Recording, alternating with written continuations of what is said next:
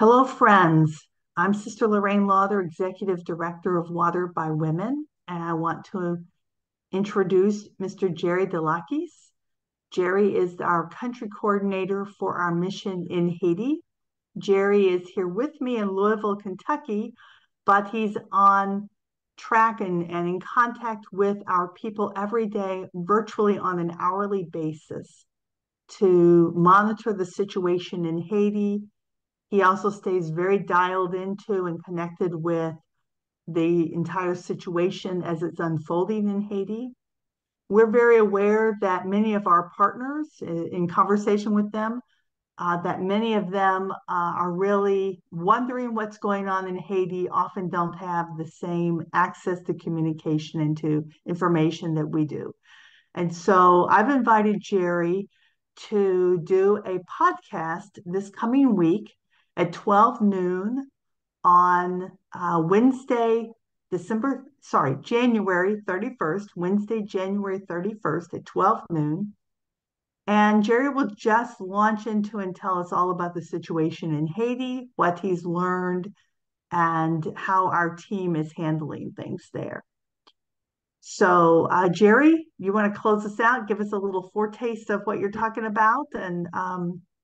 yes, uh, First thing I would have to say thank you to everyone who's been supporting the Water by Women in Haiti, who've been very successful and uh, very appreciated from the people of Haiti. I uh, want to do the program and present you the situation in Haiti because uh, I think uh, that you have many questions about it, and especially it's not completely in the news lately.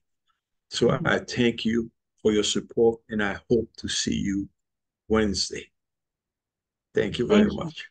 Thank you, Jerry. Thank you for being willing to share your knowledge and your experience, and as a Native Haitian, your perspective, which is so important. I often say to people when talking about Haiti, all of the atrocities and the pain and terror that we see happening around the world, that happens in Haiti every day and yet the people of Haiti are such wonderful, good, and sweet people.